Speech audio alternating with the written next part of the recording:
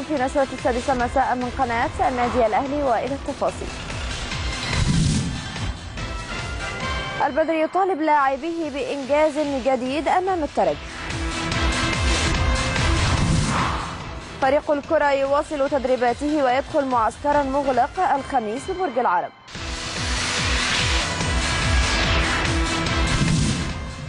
حمد المصري يؤكد صحة إجراءات الجمعية العمومية للأهلي.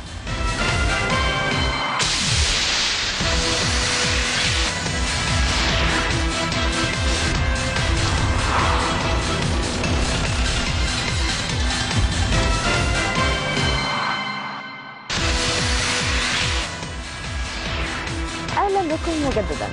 طالب حسام البدري المدير الفني للفريق الأول لكرة القدم بالأهلي لاعبيه بضرورة غلق صفحه الدوري العام. وما حدث في لقاء طلائع الجيش والتركيز في مواجهتي الفريق أمام الترجي التونسي يوم 16 و 23 سبتمبر الجاري وأكد البدري للاعبين أن عبور الترجي يعد خطوة كبيرة نحو تحقيق لقب البطولة الأفريقية الغائب عن النادي منذ أربعة أعوام بعد تحقيق اللقب في عام 2013 على يد المدير الفني المصري محمد يوسف. وأشار البدري للاعبين إلى أن الفوز بالبطولة سيصنع لهذا الجيل مجدا شخصيا بجانب الانتصار الكبير والذي سيتم تخليده في التاريخ بأسمائهم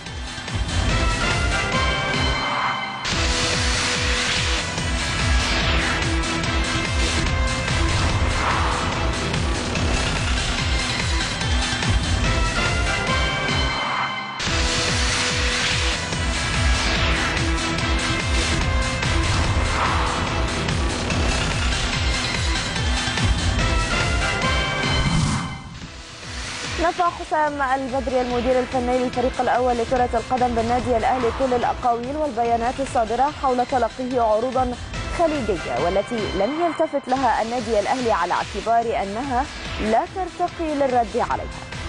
وقال البدري إن المحزن في الأمر هو انسياق مؤسسات قومية كبرى وراء هذه الشائعات الموجهة والتي تستهدف النيل من زعزعة واستقرار الفريق وضرب استعداداته الجادة للمباراه الهامه أمام الترجي التونسي في دوري أبطال أفريقيا. وشدد البدري أنه أغلق ملف الرحيل عن الأهلي منذ شهور وبالتحديد منذ جلسة تجديد عقده مع القلعة الحمراء والتي كانت على مرأى ومسمع من الجميع.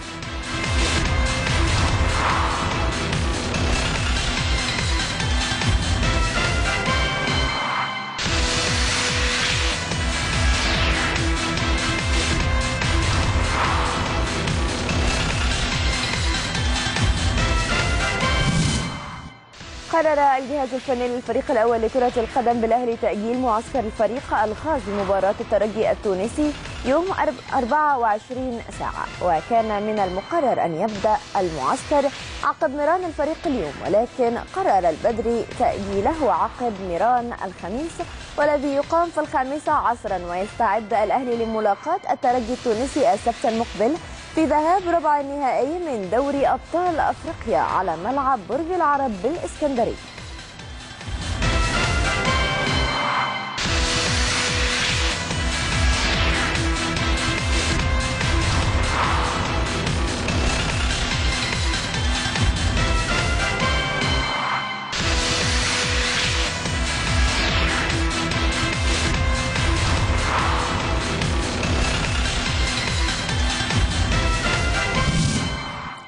واصل الفريق الأول لكرة القدم بالأهلي تدريباته مساء اليوم على ملعب مختار التتش بمقر النادي بالجزيرة استعدادا لمواجهة الترجي التونسي.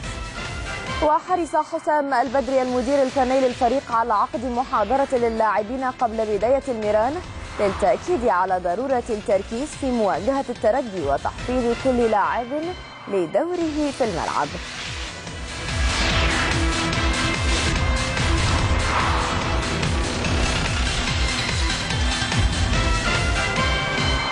للمزيد من التفاصيل ينضم إلينا الآن عبر الهاتف محمد سعيد مراسل قناة النادي الأهلي. محمد أهلا بيك. مساء الخير يا فيروز.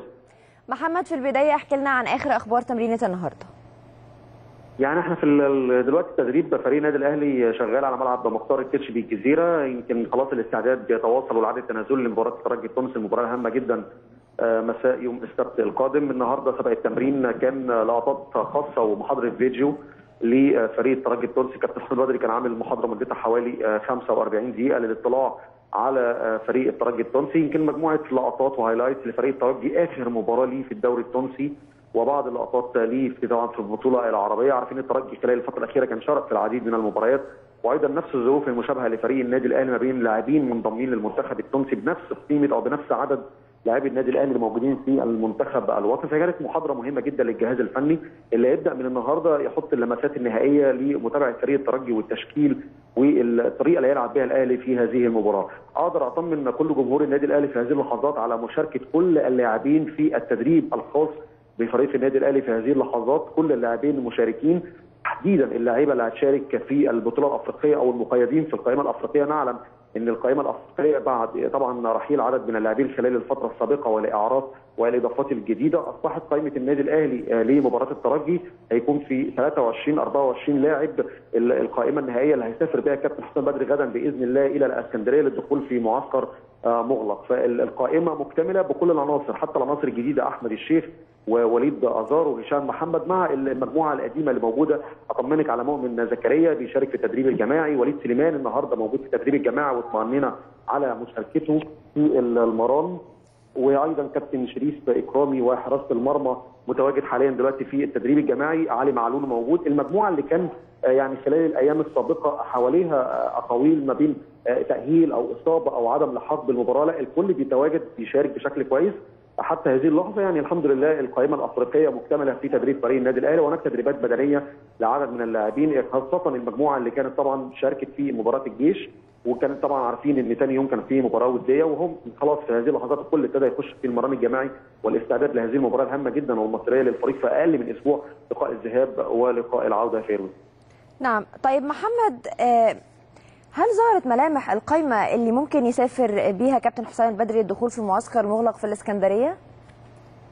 هو حتى هذه اللحظات لم تعلن القائمة بشكل رسمي، آه، بالطبع هي مباراة في البطولة الأفريقية وهناك لاعبين غير مقيدين في القائمة الأفريقية، أبرزهم أحدث الصفقات الجديدة اللعيب الجنوب أفريقي باكا، فبالتالي منتظرين غدا بإذن الله إعلان القائمة النهائية للسفر إلى الإسكندرية، هل ستعتمد على القائمه الأفريقية فقط ام سيصطحب الجهاز الفني كل اللاعبين؟ هي هذه النقطة هتتضح بشكل كبير، لكن في الغالب بما إنها مباراة أفريقية وعدد القائمة اللاعبين المقيدين في القائمة الأفريقية بيصل إلى في حدود 23 أو 24 لعيب إذا ما استبعدنا مروان محسن بالتأكيد لأن هو الوحيد سيكون خارج المباراة بشكل رسمي، فبالطبع ليلة المباراة أو يوم المباراة تحديدا سيتم استبعاد ما يقرب من ست لاعبين. فغدا بالتأكيد بنسبة كبيرة سيصطحب الكابتن حسام بدري كل اللاعبين المقيدين في القائمة الأفريقية لأن هناك تدريب يوم الجمعة على آه، ملعب برج العرب ويوم السبت يستبعد ست لاعبين أو خمس لاعبين حسب القائمة في النهاية. طبعا السكور هيكون موجود فيه 18 آه، لاعب. باقي اللاعبين المقيدين طبعا في القائمة المحلية ولم يحالفهم الحظ في التواجد في البطولة الأفريقية. سيسافروا طبعا يوم المباراة لمساندة الفريق والتواجد في هذه المباراة من المدرجات مع جماهير النادي الأهلي لمساندة الفريق، لكن القائمة نهائيه غدا ستعلن رسمي عقب التدريب على ملعب مختار التتش والسفر إلى اسكندريه والملامح التشكيل لا تتضح حتى هذه اللحظة إن هناك أقاويل كثيرة في مسألة رأس الحربه على وسط الطريق اللي يؤدي بها كابتن حسام خاصة إن فريق الترجي آه، طريقة لعبه وادائه ومشاركاته الفترة الأخيرة بتختلف تماما تماما عن الطريقة اللي الأهلي بيلعب بها في المباريات المحلية وبالتالي هناك استعداد وهناك حالة تفاؤل. أؤكد لك يا فيروز ولكل جماهير النادي الأهلي هناك حالة تفاؤل كبيرة جدا من الجهاز الفني في تخطي هذه المباراة وكلهم ثقة في اللاعبين في تخطي هذه المرحلة. ومباريات الأهلي والترجي تحديدا مع الكابتن حسام البدري دائما بن- بنتابع مفاجآت وبنشوف مباريات كبيرة جدا. وأبرز المباريات اللي الأهلي بيأديها في تاريخه القروي بتكون أمام فريق الترجي وبيكون إن شاء الله مشوار جيد في البطولة الأفريقية والوصول إلى نهائيات بإذن الله. بإذن الله محمد سعيد مراسل قناة النادي الأهلي شكرا جزيلا ليك كنت معانا عبر الهاتف وأكيد كل التوفيق للفريق الأول.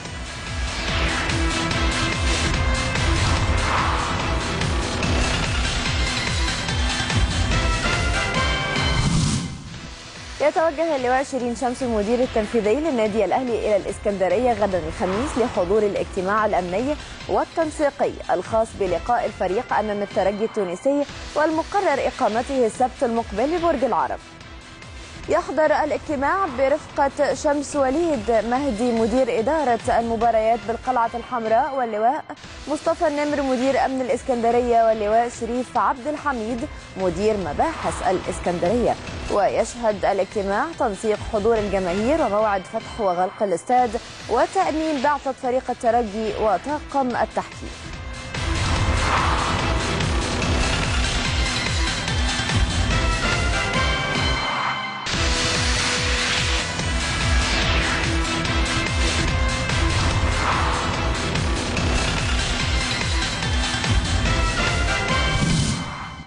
أكد اللواء شيرين شمس المدير التنفيذي للنادي الأهلي أنه لديه ثقة كبيرة في جماهير النادي خاصة بعد حرصهم على شراء جميع تذاكر لقاء الترجي ببطولة دوري أبطال أفريقيا. وأضاف أن الأهلي خاطب الأمن لزيادة أعداد الجماهير أسوة بمباراة مصر أمام أوغندا إلا أن الأمن لم يرد حتى الآن ولذلك فالعدد النهائي والذي من المقرر أن يحضر اللقاء هو 20 ألف مشجع فقط.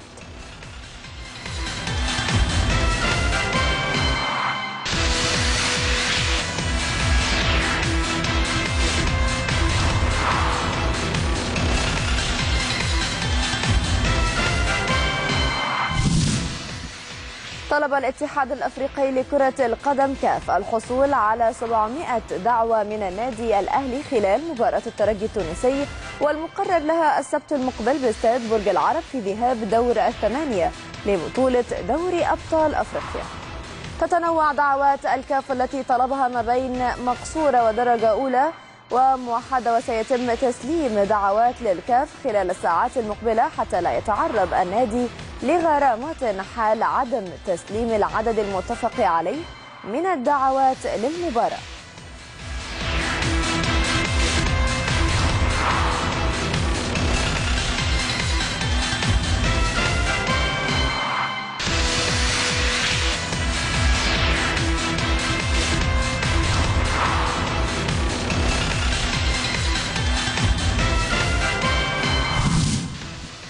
قرر تأجيل حضور السوري عبد الله الشامي لاعب الفريق الأول لكرة القدم بالنادي الأهلي للقاهرة.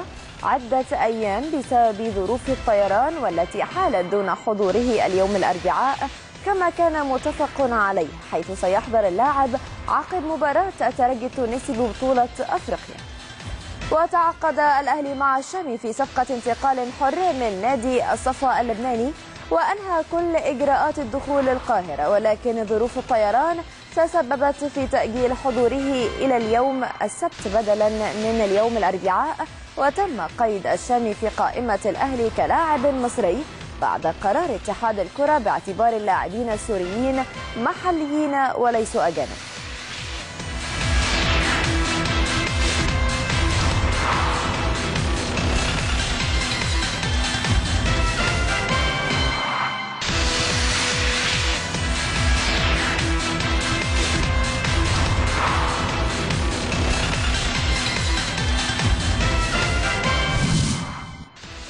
أكد حمادة المصري عضو اللجنة الأولمبية المصرية على أن موقف النادي الأهلي فيما يخص لائحته الخاصة وإجراء جمعيته العمومية سليم مبدئيا من التعنت ضد مجلس الأهلي.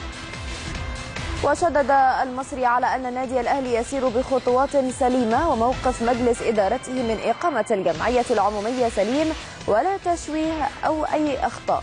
وطلب المصري بضرورة تقريب وجهات النظر بين اللجنة الأولمبية والنادي الأهلي كونهم كيانات كبيرة.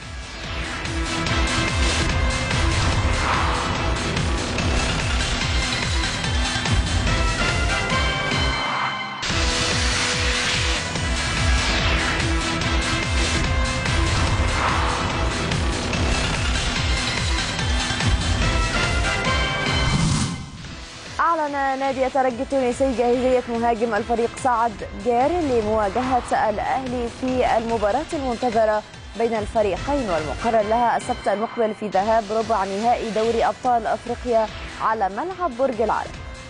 وقالت وسائل إعلام تونسية أن بجار تعافى من الإصابة والتي تعرض لها وأن مشاركته في المباراة ستكون وفقا لقرار من المدير الفني فوزي البنزرتي. وتصل بعثة الترجي إلى الإسكندرية غدا الخميس على متن طائرة خاصة على أن يخوض تدريبه الرئيسي على ملعب المباراة يوم الجمعة.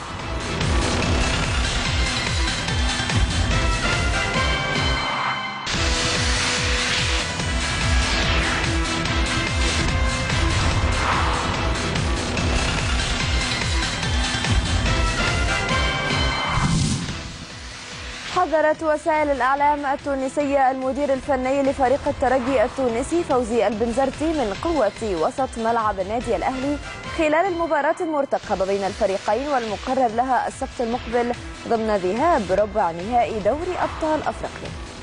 وأشارت الصحف التونسية أن قوة وسط الملعب في الأهلي المصري ستجبر البنزرتي على تأمين وسط فريقه خاصة وأنه يهدف للعودة إلى تونس بنتيجة إيجابية تساعده في مباراة الإياب. وترى وسائل الإعلام التونسية أن الترجي سيعتمد على طه ياسين الخنيسي في هجوم الفريق فقط مع تأمين الوسط والدفاع خوفا من القوة الكبيرة لنادي القرن في أفريقيا.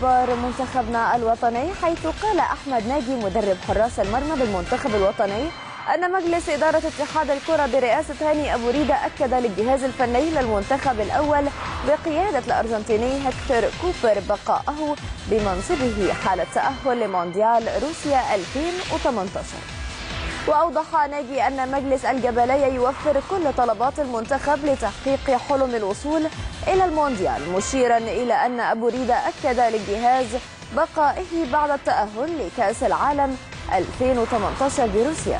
وأضاف مدرب حراس المنتخب أن الاتحاد يساند الفريق في كل وقت وأن أمر رحيل الجهاز عقب التأهل للمونديال غير مطروح بالمرة.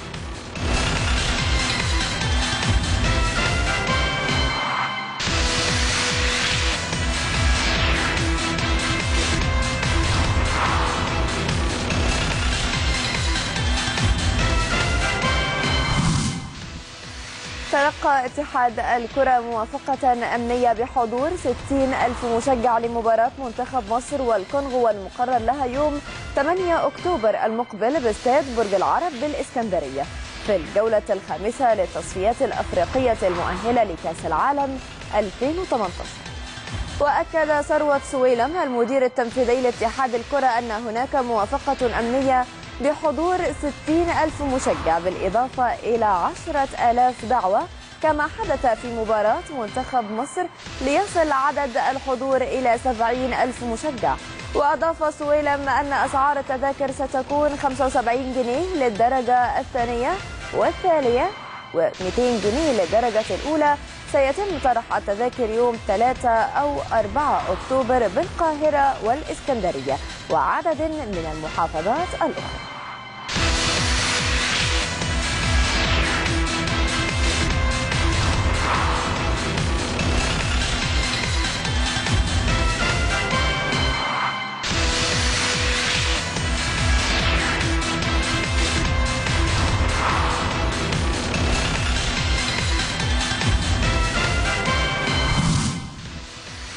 اختتم منتخب مصر لكرة القدم الشاطئية بقيادة مديره الفني أحمد عبد الرازق صباح اليوم الأربعاء معسكره المغلق والذي أقيم بمشروع الهدف في مدينة 6 أكتوبر على مدى أسبوع كامل. وخاض لاعبو المنتخب نيرانا قويا صباح اليوم الأربعاء على الملعب الرملي بمشروع الهدف قبل اختتام المعسكر والعودة إلى أنديتهم ومن المقرر أن يدخل منتخب الشاطئية معسكرا مغلقا في النصف الثاني من شهر سبتمبر الجاري استعدادا للمشاركة في بطولة العالم للقارات والتي تقام بدبي في شهر نوفمبر المقبل.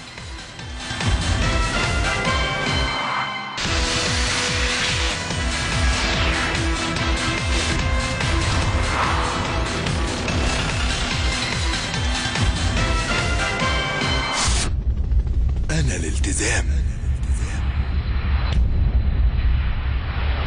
دايما بتعلم. بتحرك. ببص لقدام.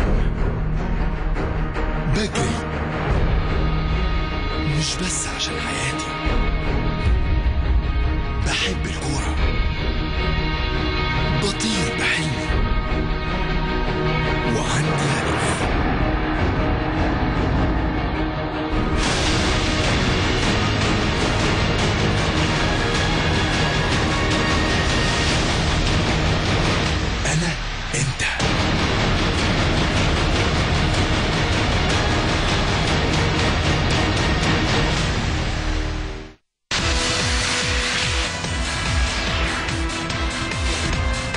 والى متابعة أخبار الألعاب الأخرى حيث يواجه الفريق الأول لكرة السلة رجال بنادي الأهلي بقيادة مديره الفني طارق خيري اليوم الأربعاء فريق 6 أكتوبر في مباراة ودية في إطار استعدادات الفريقين للانطلاق الموسم الجديد.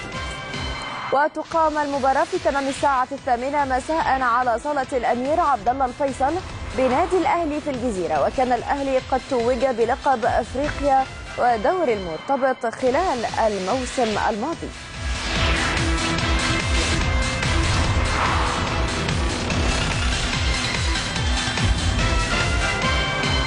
للمزيد من التفاصيل ينضم إلينا الآن عبر الهاتف الكابتن إسلام علي المدرب العام للفريق الأول لكرة السلة رجال بنادي الأهلي. كابتن إسلام أهلا بيك. أهلا بك يا فندم. أهلا وسهلا. كابتن إسلام في البداية احكي لنا عن استعدادات الفريق لمواجهة فريق 6 أكتوبر وهل الفريق كامل العدد؟ آه والله يعني هو فريق 6 أكتوبر فريق آه جديد صاعد حديث في الدوري الممتاز لكن إحنا معظم العناصر اللي فيه آه عارفينها كويس. آه إحنا مش هدفنا من النهارده مش إن إحنا نقرأ فريق 6 أكتوبر والكلام ده قد ما إن إحنا نشوف آه، وصلنا بالحالة الفنية والبدنية للفرقة بتاعتنا قد إيه وهو ده الهدف الأساسي من المباريات الودية. آه، بنطلع بالحمل إن شاء الله واحدة واحدة. بعد المباراة عندنا توقف آه، من كل حاجة لمدة آه، 10 أيام عشان في منافسات بطوله الجمهورية للشركات في بورسعيد. معظم الفرقة هتبقى هناك وإحنا هنبقى هناك هنبقى متابعين حالة المباريات بتوعنا آه، عشان نكمل الفترات بتاعتنا لأن حتى الآن آه، آه، المعلومات اللي عندنا بخصوص انطلاق مسابقه الدوري تبدأ نص آه، أكتوبر. في كلام إنها ممكن تاجل وفي لسه يعني ممكن تاجل وممكن آه، ما عندناش خبر أكيد. الخبر اللي عندنا هي نص أكتوبر فلازم نبقى حريصين إن إحنا متابعين كل ال- الولاد بتوعنا في الفترة اللي جاية دي حتى لو مش هم مش معانا. زي ما قلت لك كل الشركات واخدة نص الفرقة متوزعين على الشركات كلها. فلازم نبقى متابعينهم هناك عشان لما هتخلص البطولة ويرجعوا مش هيبقى فاضل أكثر من آه، أسبوعين آه، 15 يوم بالظبط على الدوري يبدأ إن شاء الله. أكيد بإذن الله كل التوفيق للفريق الأول لكرة السلة رجال كابتن إسلام علي المدرب العام للفريق الأول لكرة السلة بنادي الأهلي آه، سلة رجال. شكرا جزيلا ليك كنت معايا عبر الهاتف.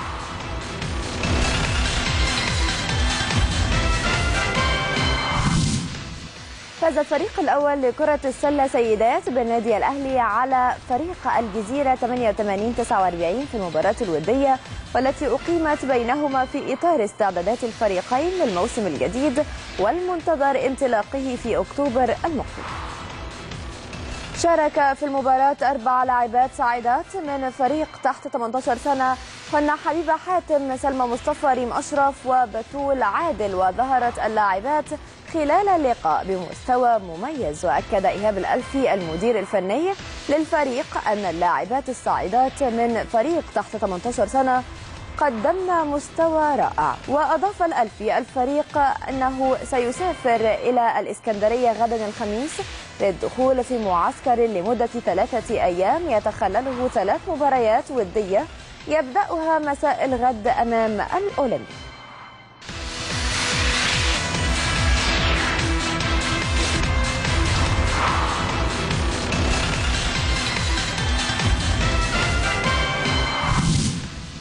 يواجه المنتخب المصري لكرة الطائرة سيدات تحت 23 سنة المنتخب الأرجنتيني غدا الخميس في تمام الثانية ظهرا ضمن مباريات الجولة الرابعة من بطولة العالم والمقامة بسلوفينيا. وتغلب المنتخب المصري على منتخب تايلاند في الجولة الثالثة ليرفع رصيده إلى ثلاث نقاط في المركز الرابع وقدم المنتخب مستوى جيد بدور المجموعات حتى الآن بالتغلب على تايلاند والخسارة بصعوبة أمام الصين وجمهورية الدومينيكان.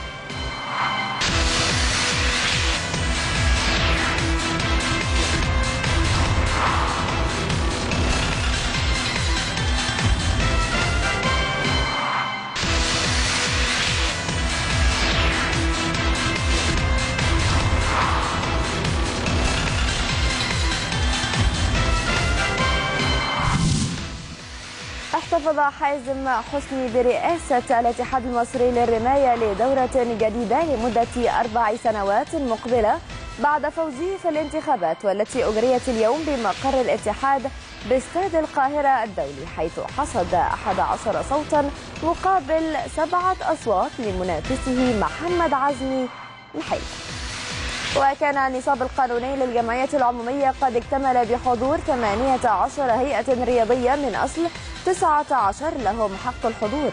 وفاز في العضوية كل من محمد وهدان أدهم مدحت وشريف صلاح محمد الشاذلي والسيد محمد مخيمر وحسين كامل وعبد الرازق محمد.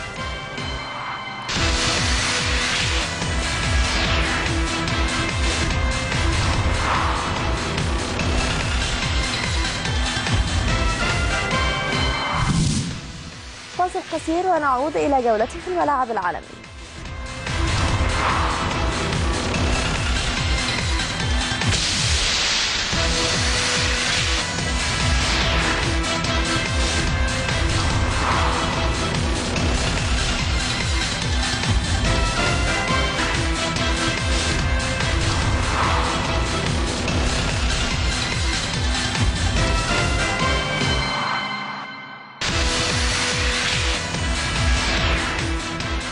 جولة في الملاعب العالمية حيث انتقد لوثر ماتيوس لاعب بايرن ميونخ الألمانية السابق سلوك النجم الفرنسي فرانك ريبيري لاعب الفريق وذلك بعد استبداله في مباراة أمس أمام أندرلخت البلجيكي في دوري أبطال أوروبا. وكان ريبيري قد ألقى بقميص بايرن عقب استبداله أمام أندرلخت في الدقيقة 78 في إشارة إلى غضبه من التغيير والذي قرنه المدرب الإيطالي كارلو أنشيلوتي. وقال ماتيوس لا يمكنك إلقاء قميص بايرن ميونخ على مقاعد البدلاء بهذا الشكل. هذا ليس شيئا جيدا لنادي كبير مثل البايرن.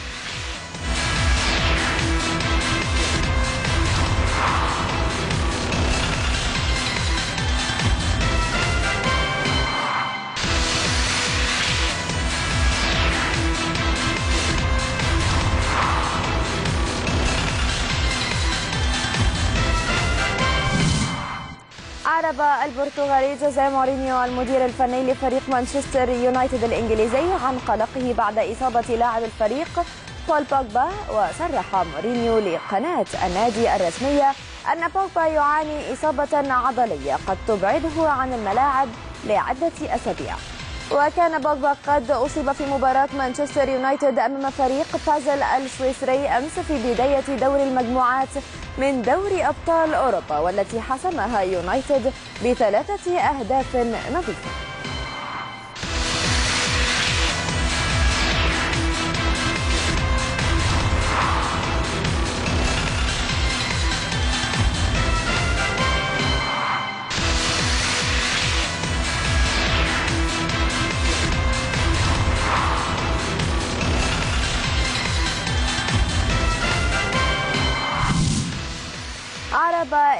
إرنستو فالفيردي المدير الفني لفريق برشلونة الإسباني عن سعادته بالفوز على يوفنتوس الإيطالي أمس بثلاثية دون رد في الجولة الأولى لدور المجموعات بدوري أبطال أوروبا. وصرح فالفيردي عقب المباراة أنه كان من الضروري الفوز على يوفنتوس من أجل الجماهير. قائلا ما يزال أمامنا الكثير جدا يجب علينا أن نقدمه مع برشلونة في الفترة المقبلة. وعن تألق النجم الأرجنتيني ليونيل ميسي وتسجيله هدفين قال فالفيردي كلما يحصل ميسي على الكرة تشعر أنه سيفعل بها شيئا مميزا.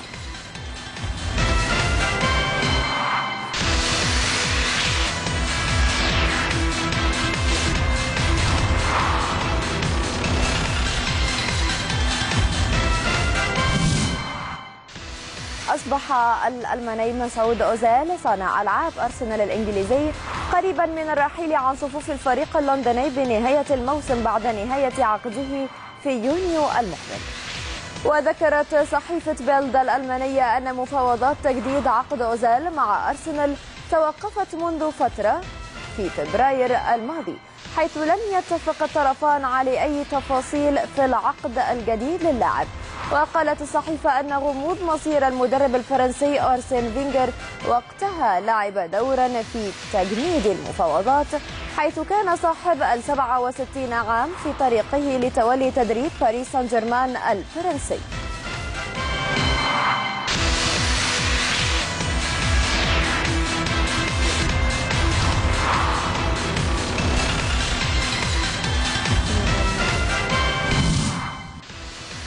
يسعى الفرنسي زين الدين زيدان مدرب ريال مدريد الأسبانية إلى ضم مهاجم جديد. إلى صفوف فريقه خلال فترة الانتقالات الشتوية القادمة خاصة بعد رحيل مهاجميه ألفارو موراتا وماريانو دياز.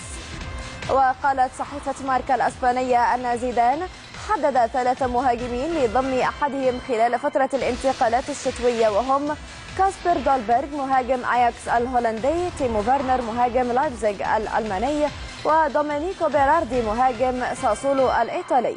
وكان زيدان قد سمح لمهاجمه الأسباني الدولي ألفارو موراتا بالرحيل إلى تشيلسي الإنجليزي خلال فترة الانتقالات الصيفية الحالية. وكذلك الحال بالنسبة لماريانو دياز والذي رحل إلى ليون الفرنسي.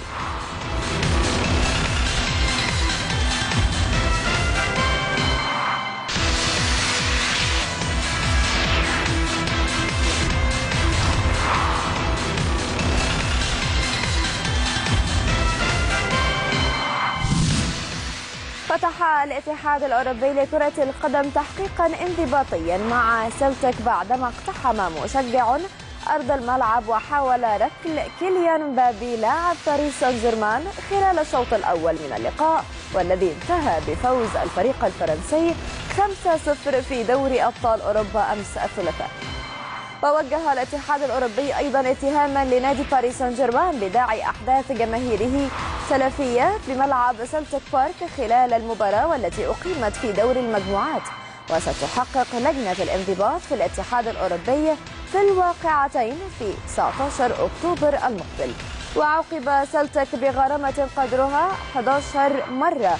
في أقل من ست سنوات بسبب مشاكل جماهيرية من بينها تغريمه 20 ألف جنيه استرليني من الاتحاد الأوروبي في يوليو الماضي بعد رفع لافتة غير لائقة في المدرجات خلال لقاء في الدور التمهيدي لدوري الأبطال.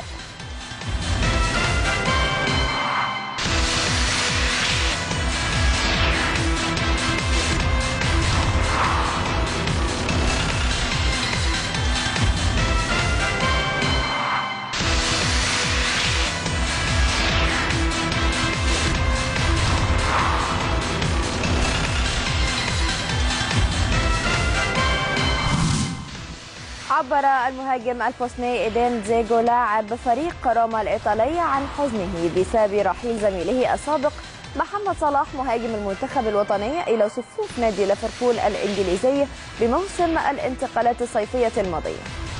وقال زيكو مقابل عقب تعادل فريقه مع ضيفه أتلتيكو مدريد الأسباني سلبيا في الجولة الأولى في مرحلة المجموعات ببطولة دوري أبطال أوروبا. أشعر بغياب صلاح بعد رحيله إلى ليفربول. فضلا عن ناينجولان والذي كان يلعب بالقرب مني بينما الآن هو بعيد عني حيث عاد إلى خط الوسط وأضاف في تصريحات صحفية عقب اللقاء أفتقد كذلك إلى فرانشيسكو توتي فبعد اعتزاله ترك فراغا كبير لنا في الفريق حيث كان بمثابة ملهم لنا داخل الفريق داخل وخارج الملعب.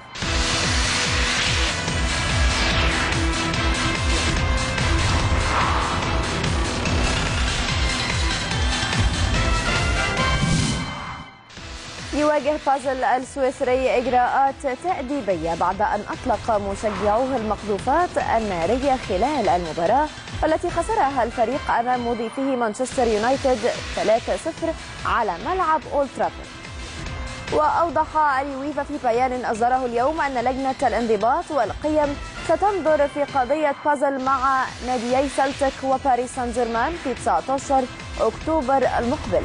وخسر بازل والذي يلعب له عمر جابر بثلاثية نظيفة أمام مانشستر يونايتد في أولى مباريات دور المجموعات لدوري أبطال أوروبا.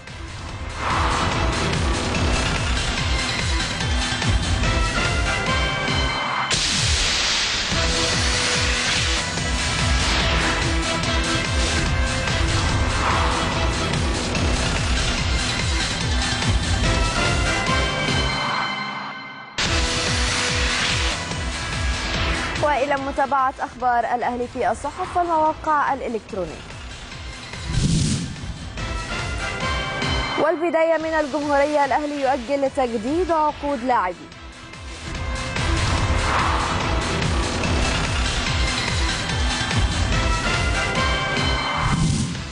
من المساء البدري واثق من تخطي عقبة الترجي.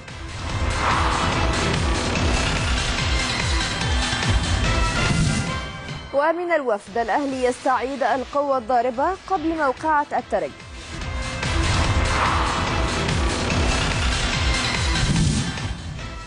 ومن الوطن سبورت اختبار طبي لفتح في ميران الأهلي اليوم.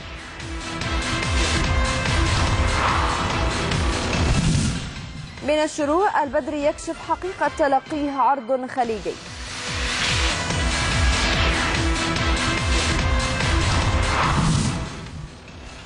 ومن البوابة نيوز البدري يضع برنامج صارم لتجهيز الأهلي لموقعة الترجي.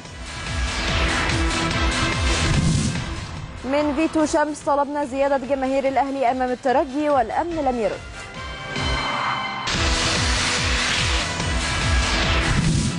ومن الأهلي dot com عبد الحفيظ الترجي يصل الإسكندرية الخميس.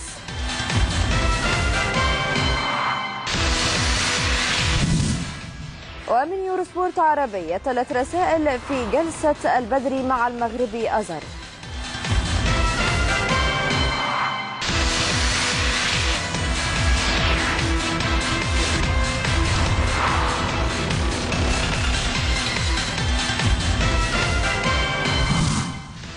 إلى هنا تنتهي نشرة أخبار السادسة من قناة النادي الأهلي دمتم. في أمان الله.